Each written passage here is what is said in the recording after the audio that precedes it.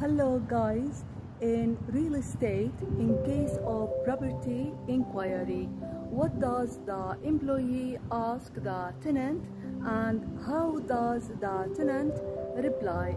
Let's take a sample.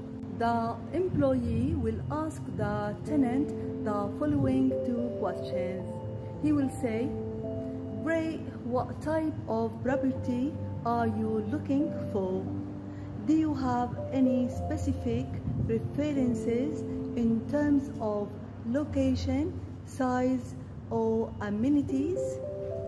I'm looking for a two bedroom uh, apartment uh, in the down area with parking facilities.